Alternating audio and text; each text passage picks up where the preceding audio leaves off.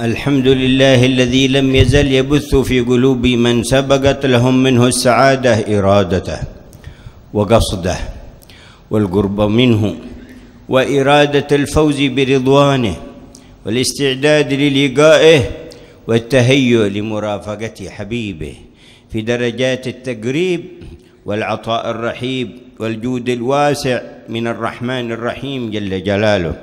بثه لهذا في القلوب من من مننه الكبيرة برزت بأوسع ما تبرز في أمة حبيبه المحبوب. صلوات ربي وسلامه عليه الذي أقامه في مقام الدعوة فخصصه في مزاياها وغايات غاياتها وحقائق بياناتها بمزايا وخصائص لم تكن لأحد قبله ولم تكن لأحد بعده فسعدنا به وسعدت همته به وتيسر وصول هذا البث الرحماني الإلهي إلى القلوب لتقصد الله لتريد الله لتتهيأ للقاء الله لتستعد للقاء تعالى في علاه لتحظى برضوانه لتحظى بمرافقة حبيبه في جنانه. وهي أماني أرباب الصدق من خيار الخلق. إذا قذفت في قلب رجي له الخير. ورجي أن الله لم يقذفها فيه إلا وهو يريد أن يعطيه وهو يريد أن يمنحه. وإلا فكم يسلط على القلوب إرادة الشهوات.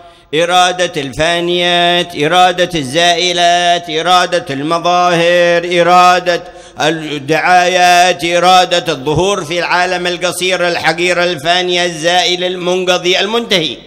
وهي إرادات هابطة ساقطة تسقط بأصحابها عن المراتب العلا وعن اللحوق بخيار الملأ. وتلكم قلوب قلبت في أودية الغفلة والظلمة والبعد والطرد والعياذ بالله تبارك وتعالى. وكان سيد أهل الدعوة إذا دعا الرحمن قال يا مقلب القلوب والأبصار ثبت قلوبنا على دينك. يا مقلب القلوب والأبصار ثبت قلوبنا على دينك برحمتك يا أرحم الراحمين. ورسخ في قلوبنا قصدك وإرادتك. فمن أحق أن تقصد هذه القلوب وأنت خالقها وأنت مبديئها وأنت منشئها وأنت فاطرها وأنت مقلبها وإليك مرجعها ومآبها. من أحق أن تقصد؟ من أحق أن تريد؟ أفانيات سلطات أموال مظاهر. ما هو أحق أن تقصد هذه القلوب؟ تقصد من؟ وتقصد ماذا؟ حق ما قصدت القلوب منشئة موجدة خالقها جل جلاله الرحيم بها الذي يسر لها السبيل لقربه ولنيل رضاه ولمعرفته الخاصة بمعرفة أحكام شريعته والصدق في القيام بها وتطبيقها وتنفيذها. هذه ميادين القرب من الله. تنفيذ وتطبيق أحكام الرحمن التي جاء بها سيد الأكوان. حسن تنفيذك وتطبيقك في عينيك في يديك في فرجك في بطنك في لسانك في رجليك في لباسك في أهلك. طبق نفذ أحكام الرب جل جلاله.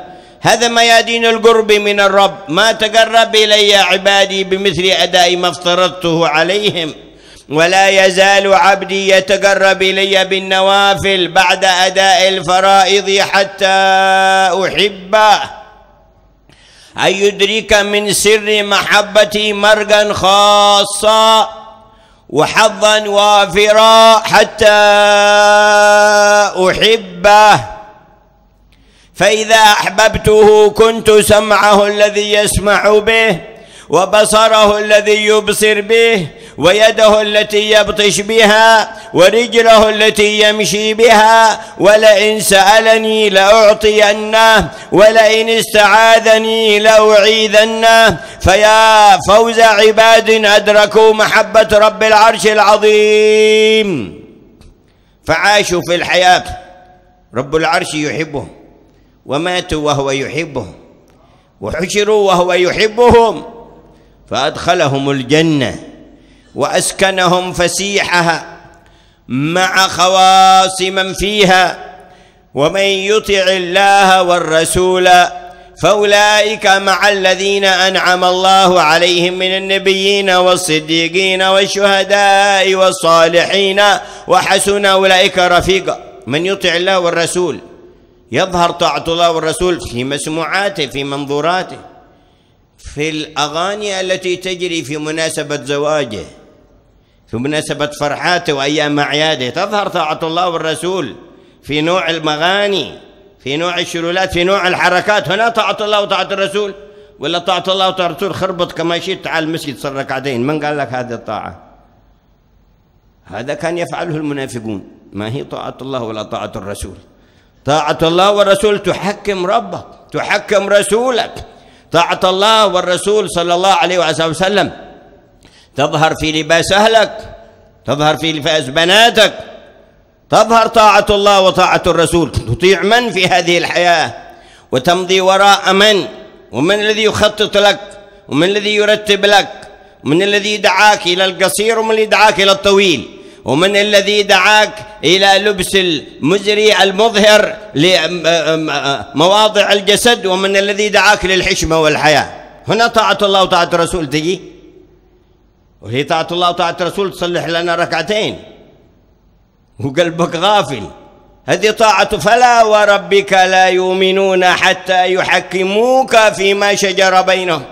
ومع هذا التحكيم يعظمون حكمك ثم لا يجدوا في صدورهم حرجا مما قضيت. مرتاحين مرتضين حكمك وأمرك. قالوا موضة قالوا بقت ثانية قالوا زمن ثاني. تفعل عليها حكم الله والرسول مقدم. ثم لا يجدوا في أنفسهم حرجا مما قضيت ويسلموا تسليما. هذا شأن المؤمنين جعلنا الله وإياكم منه وهو سر شعار التلبية للملبين التي جعلها الله في الحج. لبيك اللهم لبيك. والقلوب التي لبت من الذين وقفوا في عرفة ومروا على مزدلفة ومرت بهم أيام منى وطافوا بالكعبة المشرفة وسعوا بين الصفا والمروة ووفدوا إلى طيبة الطيبة حيث معلمهم وهاديهم ومرشدهم ومنقذهم وداعيهم وموصلهم وموصلهم وباب الرحمة لهم. محمد. هذه القلوب الملبية. وما اتصل بها من القلوب الملبية وإن كانت بعيدة لم تتمكن من مظاهر الحج في هذا العام. وربما يكتب لأحدهم ثواب الحج في كل يوم بل في كل ساعة. لصدقه مع الله وقيامه بحسن الطاعة. هذه القلوب الملبية هي محل الرجوى في دفع البلوى أيها الأحباب والإخوان. أما أهل التسيب أما أهل التساهل أما أهل الإقدام على ما لا يرضي الحق جل جلاله أما أهل المظاهر الحسية مقطوعين عن الله فما يكون من آثارهم إلا شوم أو بلاء يحل بالامه ولولا دفع الله الناس بعضهم ببعض لفسدت الأرض لفسدت الأرض. بل قال الحق لو أخرجنا عنصر النور الرباني في تبعية الأنبياء والمقربين. وصار الحق متبعا لأهواء أهل الأهواء في الأرض. لعم الفساد الأرض والسماء. ولو اتبع الحق أهواءهم لفسدت السماوات والأرض ومن فيهن. لو اتبع الحق أهواءهم لفسدت السماوات وقال لرعيلنا الأول الذين قام عليهم أساس الدين كله. لكل متدين إلى يوم القيامة من السابقين الأولين من المهاجرين والأنصار رضي الله عنهم يقول يقول فيهم لهم واعلموا أن فيكم رسول الله. لو يطيعكم في كثير من الأمر بحسب آرائكم لعنتم جلبتم المشقة لأنفسكم والتعب. لكن عندكم الحبيب يجنبكم ما يوجب تعبكم وإن لم تشعروا. وما رغبتم فيه وهو يضركم وإن لم تعلموا. ولو يطيعكم في كثير من الأمر لعنتم لحلت المشقة عليكم.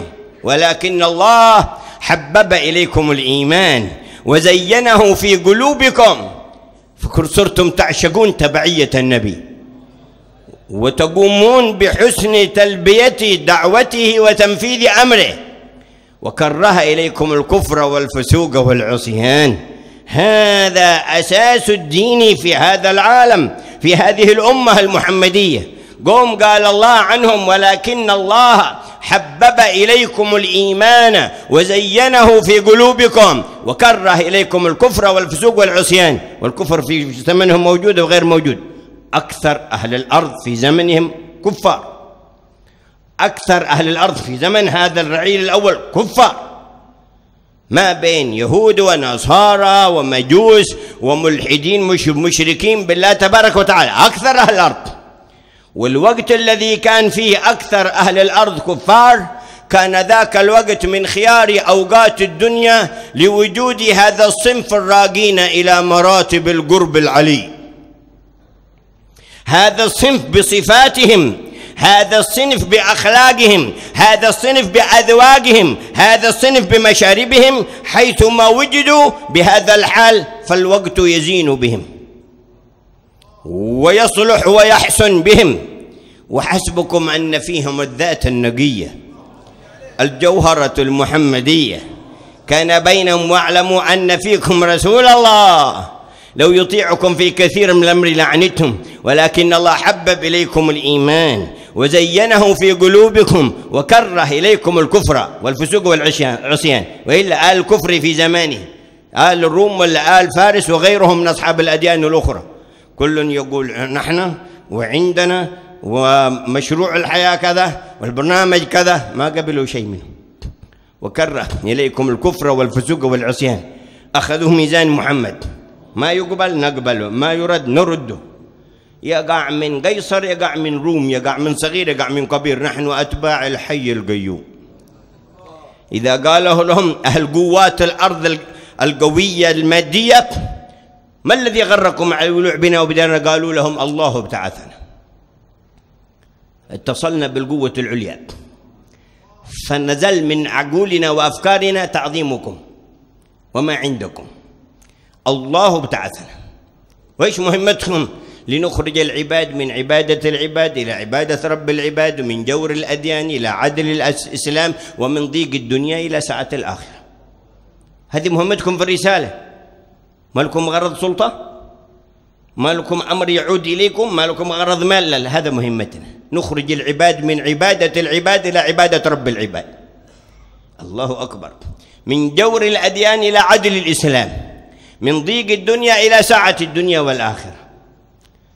هذا فقههم للمهمة التي حملوها عن نبي الأمة صلى الله عليه وعلى آله وصحبه وسلم. يا من حببت إليهم الإيمان وزينته في قلوبهم. هذه قلوبنا بين يديك. ونحن بعد هذا الموسم الكريم نرفع الأكف إليك ونقول حبب إلينا الإيمان وزينه في قلوبنا. كما حببته إليهم وزينته في قلوبهم. وكره إلينا الكفر والفسوق والعصيان. كما كرهت إليهم الكفر والفسوق والعصيان. واجعلنا من الراشدين.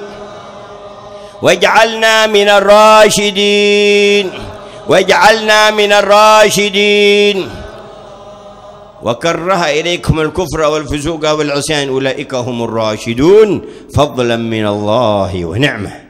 فنسأل مولى الفضل والنعمة أن يتفضل وينعم علينا كما أن تفضل وأنعم عليهم. إنه أكرم الأكرمين وأرحم الراحمين. وكما سمعتم اجتمعت الجموع وسال منهم الدموع وقام من قام بالخشوع وفي الوفد كم عبد منيب لربه وكم خاضع كم خاشع متصاغر وراج وباك من مخافة ربه بفائض دمع كالسحاب المواطر وذي دعوة مسموعة مستجابة من الأولياء أهل الهدى والسرائر.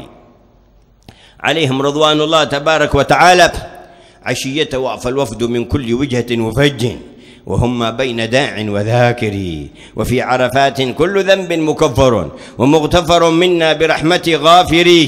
وقفنا بها والحمد لله والثناء وشكرا له إن المزيد لشاكري وإنا لنرجو عفه أن يعمنا ويشمل منا كل باد وحاضر.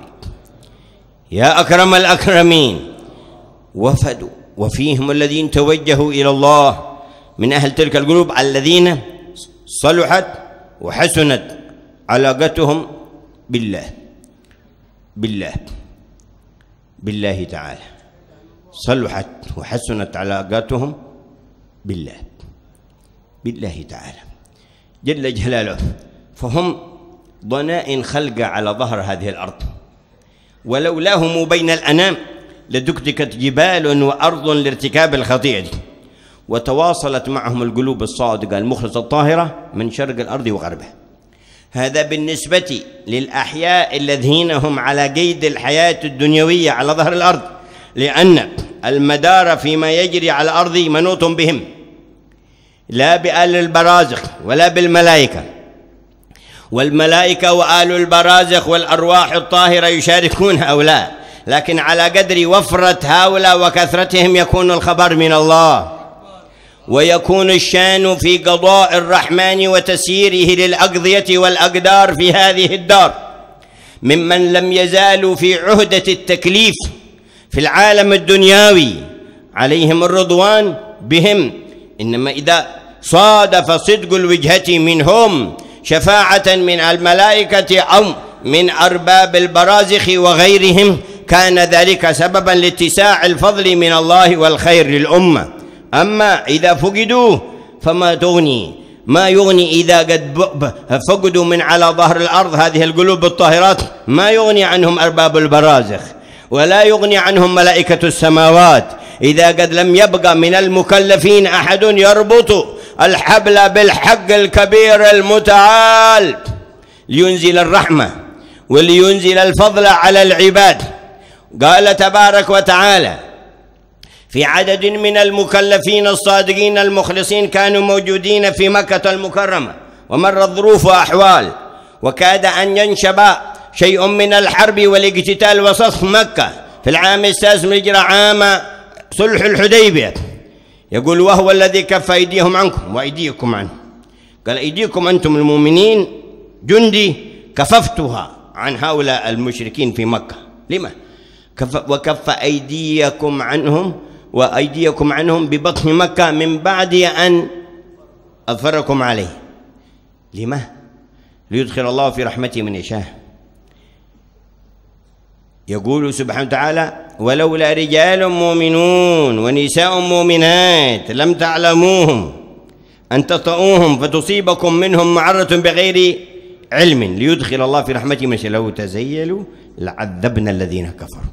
قال لو هؤلاء المكلفين موجودين وسط مكة من أحبابنا وأهل قرب منا تزيلوا وانتزعوا إلى جانب مستقل. لعذبنا وسلطتكم على أهل مكة وقتلتم أهل مكة. لكن بسبب وجود هؤلاء لو تزيلوا لعذبنا الذين كفروا منهم عذابا أليما بسبب وجود هؤلاء. صرف العذاب حتى عن الكافرين لوجود هذا الصنف. لوجود هذا النوع. القلوب المتصلة بالله. هم فخر الوجود في هذا العالم. اليوم نعرف عقول في المسلمين. من من, من ظهر بلعبة عظموه من ظهر بكمبيوتر عظموه من ظهر بطائرة وبطيار ولا بدون طيار عظموه ومن طلع رئاسة عظموه وأهل القلوب المتصلة بالله ما عرفوا تعظيمه وهم العظماء. هم العظماء اولا وآخرة. هم العظماء دنيا وآخرة. هم العظماء سرا وجهرا. هم العظماء هؤلاء. أهل القلوب المتصلة بالله. لا أرباب الأجهزة. ولا أرباب الأسلحة.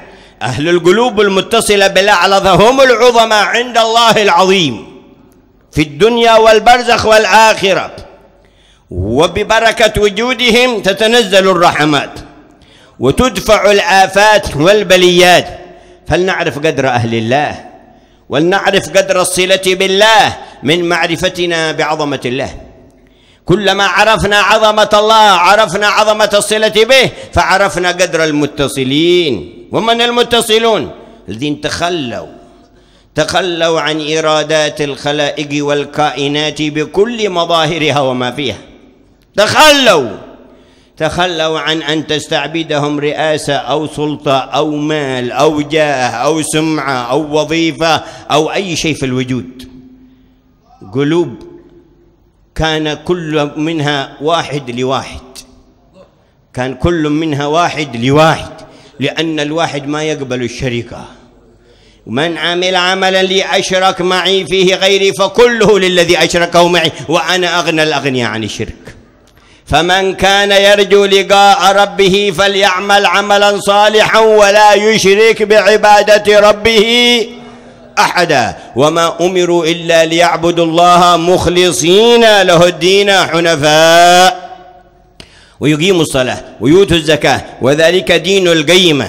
فحرك حقائق طاعتك لله ولرسوله في مظهرك في جوهرك في وجهتك في نيتك في حالك في أسرتك في أعضائك كلها.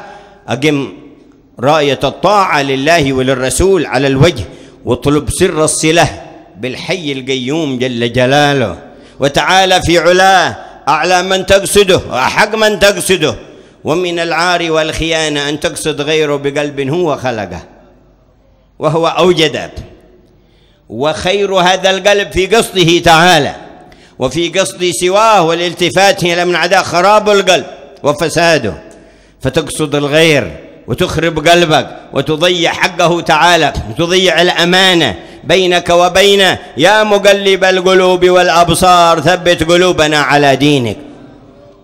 نرجو من الحق تعالى أن يظهر آثار قبول الحج للحاجين والمتصلين بهم من الصادقين المخلصين في تفريج كروب المسلمين وإظهار الفرج العاجل في شامنا في يمننا في شرقنا في غربنا. يا رب المشرق والمغرب يا رب اليمن والشام يا رب كل الأنام يا ذا الجلال والإكرام يا ذا الطول والإنعام. بالحج لبيتك الحرام والحجاج وزيارة خير الأنام والزائرين والقلوب المتصلة بك من المكلفين وبمن لهم لديك منزلا فرج كروب الأمة عاجلا. وادفع الخطوب يا ربي سريعا يا سريع الغوث غوثا منك يدركنا سريعا. يهزم العسر وياتي بالذي نرجو جميعا. يا قريبا يا مجيبا يا عليما يا سميعا. قد تحققت بعجزي وخضوعي وانكساري. أيها المؤمن بالله تعالى كانت حجة نبيك صلى الله عليه وسلم قبل ألف وأربعمائة و ست وعشرين سنة كانت قبل ألف وأربعمائة وست وعشرين سنة. لكن ذلك الحاج وسر حجه مبسوط خيره واستغفاره إلى اليوم. ولما ذكر الحاج جاء بلفظ أخبار ولفظ إنشاء من يقول أنه يغفر الله للحاج ولمن استغفر له الحاج ولفظ إنشاء. يقول اللهم اغفر للحاج ولمن استغفر له الحاج. من اللي قال اللهم اغفر؟ هو. هو. فالمستغفر للمقبولين من الحجاج ولمن استغفروا له في العام هذا بعد 1426 من حجته. عليه الصلاة والسلام. هو المستغفر لنا ولهم. هو اللي طلب. هو مقدم الطلب. هو الذي بوجاهته نادى الرب وخاطب إلهنا سبحانه بكرمه الأرحب أن يغفر للحجاج ومن استغفروا له إلى آخر الزمان. ففي كل سنة بساط استغفاره مبسوط. وممدود للذين اتصلوا بأسرار الحج ومن استغفر لهم الحجاج. فيا ربي بسر استغفار عبدك المصطفى. وسر استغفار الحجاج الذين استغفر لهم ولمن استغفروا له. ابسط لنا بساط المغفرة الشاملة لجميع ذنوبنا ما علمنا منها وما لم نعلم يا خير الغافرين. غفرانا يشمل جميع سيئاتنا وذنوبنا وأوزارنا ظاهرها وباطنها. يا واسع المغفرة يا أكرم الأكرمين. يا أول الأولين يا آخر الآخرين يا ذا القوة المتين يا راحم المساكين يا أرحم الراحمين يا رب البيت الحرام والمشاعر العظام يا رب محمد خير الأنام يا رب النبيين والملائكة المقربين يا رب كل شيء يا مليك كل شيء بقدرتك على كل شيء اغفر لنا وللمسلمين كل شيء. اغفر لنا وللمسلمين كل شيء. اغفر لنا وللمسلمين كل شيء. وأصلح لنا ولهم كل شيء. ولا تسألنا عن شيء. ولا تعذبنا على شيء يا الله. اللهم إنه أوقع هذه الأمة في تسلط عدوك عليهم ولعبهم بهم وضرب بعضهم ببعض وشتات شملهم ووقوع البلايا بينهم ذنوبهم وإنا نستغفرك لتلك الذنوب فيا خير الغافرين اغفر بفضلك ووفقنا للإنابة إليك أجمعين وارزقنا طاعتك بعد المعصية وذكرك بعد الغفلة. والإقبال عليك بعد الإدبار. والوجهة الصادقة إليك في جميع الأحوال والحالات والأطوار. يا كريم يا غفار يا منان يا وهاب يا ستار. يا مقدر الأقدار يا مطور الأطوار. يا من يكور النهار في الليل والليل في النهار. يا الله. وكلنا ومن يسمعنا نلح على هذا الحي القيوم ونقول يا الله مغفرة شاملة وتوبة صادقة وتوفيقا قويا وسيلا في سبيل سوي إليك ظاهرا وباطنا يا الله يا الله احفظ حجاج بيتك وزائرين نبيك وردهم إلى أوطانهم سالمين غانمين. واجعل من آثار قبولهم عندك فرجا للمسلمين وقياثا للمسلمين وصلاحا لأحوال المسلمين ودفعا للبلاء عن المؤمنين وزيادة للنعمة والفضل واللطف الذي عاملتنا به يا أكرم الأكرمين. ويا أرحم الراحمين يا الله. لا تجعل في مجمعنا ولا في من يسمعنا إلا من حببت إليه الإيمان وزينته في قلبه وكرهت إليه الكفر والفسوق والعصيان وجعلته من الراشدين. آمين. آمين. آمين. يا رب العالمين يا الله. تشرفوا برفع الأيدي إليه. متذللين بين يديه والحال لا يخفى عليه. إلهنا بقصورنا وتقصيرنا وما فينا رفعنا أيدي أملنا ورجائنا واستغاثتنا واستنصارنا. واستغفارنا إليك يا خير غافر يا خير ناصر يا خير جواد يا أكرم محسن يا أعظم منعم يا قادر يا قوي يا متين يا قهار يا الله. فاقبلنا على ما فينا وأصلح ظواهرنا وخوافينا. وفرج كروب المسلمين وادفع البلاء عن المؤمنين. يا الله اجعل العام المنصرم شاهدا لنا بكل خير وأحسن لنا خاتمته وبارك لنا وللأمة في عامنا المقبل يا رب الأعوام والشهور والأيام والليالي واللحظات والساعات. يا بارئ الأراضين والسماوات يا سامع الأصوات يا مجيب الدعوات يا سريع الإغاثات يا الله يا الله توجهنا إليك وتذللنا بين يديك والحال لا يخفى عليك فيا من أوقفنا بين يديه. والأمر منه وإليه. ما كان وقوفنا بشطارة ولا مهارة ولا قوة ولا قدرة منا. ولو رميت بنا في الإدبار لأدبرنا.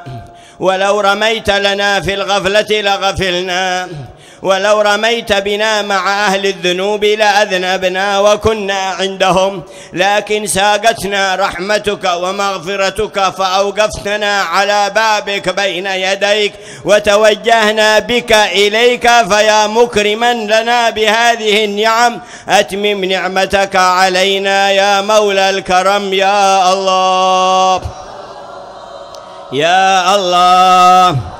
لا يبيت قلب منا ولا ممن يسمعنا ولا ممن في بيوتنا إلا وقد حببت إليه الإيمان وزينته في قلبه وكرهت إليه الكفر والفسوق والعصيان وجعلته من الراشدين فضلا ونعما. يا الله يا الله يا الله.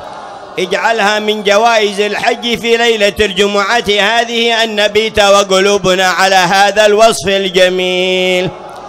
يا ذا العطاء الجزيل يا مولى الكرم والتفضيل يا حي يا قيوم يا بر يا جليل يا الله يا الله يا الله. سعدت بندائك رب العالمين. الله أكرم الأكرمين. فقل بقلبك يا الله وقل بروحك يا الله وقل بسرك يا الله وقل بكليتك يا الله. لك الشرف بذلك لك الفخر بذلك لك الكرامة بذلك تنادي ملك الممالك تسأل الحي القيوم المنجي من الردى والمهالك من ليس كمثله شيء وهو السميع البصير. تناديه أنت أيها الصغير الحقير ذلك فضله عليك والله ذو الفضل الكبير. فقل يا الله مخلصا أقول يا الله معترفا. وقل يا الله متذللا. وقل يا الله خائفا. وقل يا الله راجيا. وقل يا الله متواضعا. وقل يا الله مؤملا لما عنده تعالى في علا يا الله. يا الله. يا الله. ارحمنا والأمة وأذن بكشف الغمة وأبعد عنا النقمة وعامل بمحض الجود والرحمة. يا الله. وألحوا عليه متوجهين إليه متذللين بين يديه وقولوا يا أرحم الراحمين يا أرحم الراحمين يا أرحم الراحمين فرج على المسلمين.